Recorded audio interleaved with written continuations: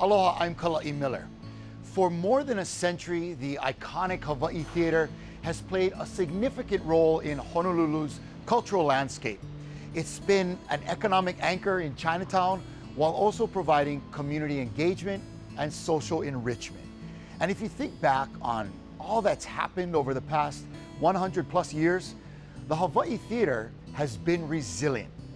It has not only survived, but has thrived.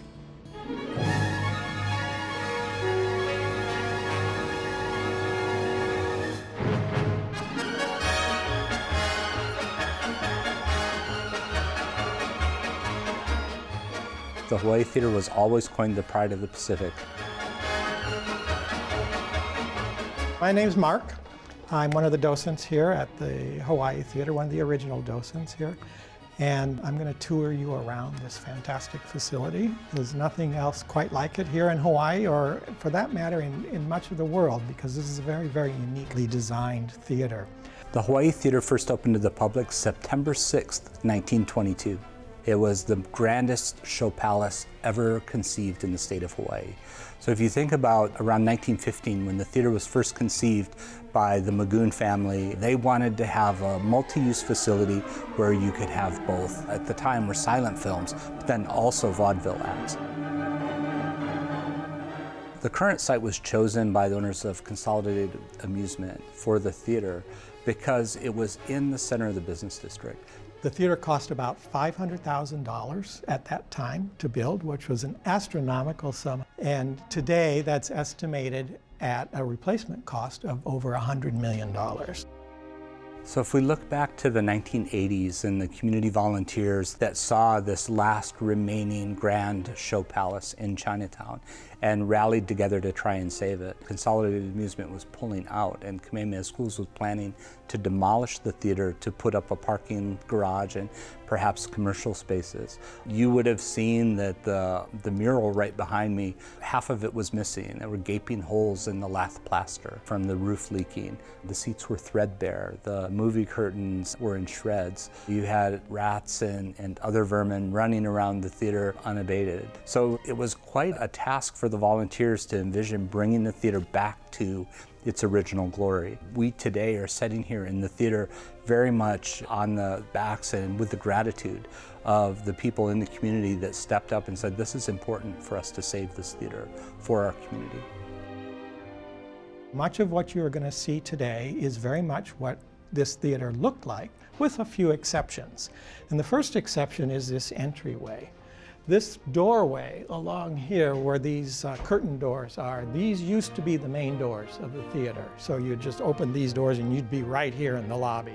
The theater itself was designed over the course of several years. The original architects, Emory and Webb, were sent by the Magoon family to New York they toured dozens of theaters in Manhattan, spent years evaluating them for acoustics and patron comfort, designing what would be a very resilient theater that could stand up to the salt air and the difficult weather that we often are exposed to. And the result is this beautiful building that has stood the test of time. It's been around 100 years and we expect that with the right care of the community and under the stewardship of our nonprofit that we'll be able to ensure it's here for another 100 years. The theater is very much a neoclassical type of a building. It has Greek and Roman influences. It's a, a little bit of a hodgepodge. Instead of these electric fixtures here, there were seven Chinese lanterns that hung here originally. And of course, that was a nod to the fact that we're right on the edge and part of Chinatown here in downtown Honolulu. If you think about the design of a theater and you go back to 1922 and people that would come in to experience the Hawaii Theater, this would have been the most beautiful building that had ever been inside of. And it was designed so that as people were waiting for the shows, they could look around the building and identify different scenes, different pieces of interest that they could focus on prior to either the music starting or the organ playing. You were trying to create something that was going to spark imagination in the patrons. So if you look from right to left, Then you can see the raised relief bronzes on either side featuring scenes from the Merchant of Venice. And then if you look up across the top of the proscenium arch, you can see the trompe l'oeil painted tile work. So people look at those and think that they're real tile, but in reality they've been hand painted. That leads you into the mural, which is by Lionel Walden. Uh, Lionel Walden was commissioned to paint the mural, which is called the Procession of Drama. And it is an allegory, which if you look again from left to right, you're going to see the common man being brought forward into enlightenment by the muse of the arts. Then on the top right and left of the archway, you'll also see figures that are painted. And one of the things that I really like about the figures is that they're designed to make you look at it and think, particularly the image on the top right, a little secret for those who know. Take a look at the mirror that the figure is holding and looking at the jester that's over her shoulder. The jester behind her appears to be young, but the image in the mirror the artist painted is an old person. So it harkens to the reality that the arts transports you from one place to the other, and everything is not exactly what it's seen in the arts. In order to make this truly the pride of the Pacific, the designers and the architects put little motifs all throughout the theater. So if you're here and you're looking around, you can spot them. So if you look up in the middle of the dome, there's a little flower motif emblem, which is the ilima flower. Then if you also look at the coils around the stage, around the proscenium arch, you'll see that those are made of maile leaf. So look real close, you can see the maile. Uh, and then you can also see the hibiscus, which was the state flower, is also featured. And then at the very top of the proscenium arch, there's a medallion, which is a symbol of the territory of Hawaii. So the theater was opened in 1922 under the territory of Hawaii, and so the emblem is still in the theater and was part of the restoration to clean it and bring it back to its gilded state. This loge area used to be all wicker seats. These first four rows of seats were considered the best seats in the house, and then they were the most expensive seats in the house, of course. In those days, if you wanted to come to the opening night, it would have cost you $1.50 to sit in one of these chairs. It would have cost you a dollar downstairs and 50 cents upstairs. The dome is original to the theater and it had many different uses, but primarily it's acoustical in nature. The theater was designed prior to the advent of amplified voice and music. So the dome itself helps to take the sound from the stage and reflect it back down into the auditorium. The top is also vented so that if there was ever a fire, smoke would go up out of the vent. And then it also helped to keep the theater cool because at the time the theater was built, you didn't have air conditioning. There were some advancements that, that were done in taking advantage of the trade winds. So if you look at the design of the building where the grills are on the right and the left, that also is on the Mauka and the Makai side of the theater. So they were able to open up the jalousies on the outside of the building to allow the airflow to blow through.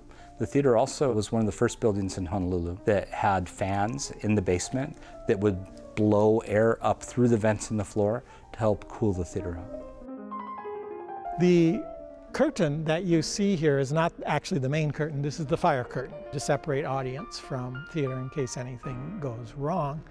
This is not the original fire curtain, even though the pattern of it, the diamond head motif, all that on there is the way it looked in 1922, the word Hawaii was not there. Can you guess what word was there instead? Asbestos. You're kidding. I'm not kidding. It actually said asbestos, right? Because the curtain was made of asbestos. Of course, in those days, that was a very reassuring and very comforting word because asbestos was known as a major fire retardant. Well, not so reassuring to us today, is it? Right? So, no, that's long since been removed. So the box seats are really important because one of the boxes on the house left side is the governor's box, and on the right hand side is the Magoon box, which is again the Magoon family that built the theater. In the box seats, we have two of the last remaining original lanterns that were from the theater when it opened in 1922. So very much of an Asian theme of the red silk with a pineapple motif that during the restoration, that motif was carried throughout the theater, and you can find it on the draperies, you can see it in the carpets, you can see it emblazoned on the backs of the seats in the loge section as well. Going out and looking at the marquee, one of my favorite things to do is to come and stand under the neon and listen to it because it's really analog technology. Unfortunately, the neon is fragile and partygoers and vagrants in Chinatown can be very destructive if they want to be. And so some morning we may come in and find a bulb broken and then uh, those have to be hand blown and then installed by one of uh, the handful of craftspeople still left working on the island to help maintain it. But we felt it was important during the restoration to maintain the neon because it only enhances the historical feel and vibe that you get when you come down to the historic Hawaii Theater. Can you imagine you're the singer or the dancer or whoever out here performing how intimate this feels, right? It feels like they're just right there, right? And when you hear the applause and all that, it's just, it's just magical in this theater. If we don't remember the past and if we don't teach the past, they say we're doomed to repeat our mistakes. In our particular case with the Hawaii Theater, what we want to do is make sure that we're perpetuating Hawaiian arts and culture. When we think about what makes us unique and what makes Hawaii our home, it's, it's truly arts and culture that are the lifeblood of this place. And by teaching the keiki to dance and to sing and make music and perpetuate the experience of those who came before them, we're making sure that Hawaii remains the community that we all love. And I think it's important to have places like the Hawaii Theater where you can step on stage and you can perform on the same stage that your grandmother or your great grandmother or your auntie performed on. There's a lot of power in that.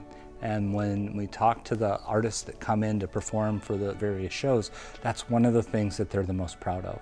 It's a very powerful thing, and it's one of the things that's really unique about our community and that we need to ensure that we're preserving for the future.